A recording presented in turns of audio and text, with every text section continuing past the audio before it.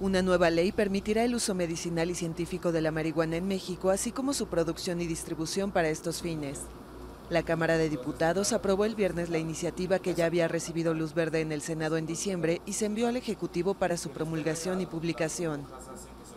La Secretaría de Salud deberá diseñar políticas públicas que regulen el uso medicinal de los derivados farmacológicos del cannabis, entre los que se encuentra el tetrahidrocannabinol, sus isómeros y variantes estereoquímicas, así como normar la investigación y producción nacional de estas sustancias. La iniciativa fue impulsada por la Presidencia de México, que aún no logra abatir la violencia de los cárteles del narcotráfico y se ha mostrado renuente a legalizar totalmente las drogas. Ahora México se suma a Colombia, Chile y Argentina, donde también se aprobaron leyes que autorizan el cultivo y uso medicinal de la marihuana, mientras que las leyes uruguayas permiten el cultivo para autoconsumo desde 2013.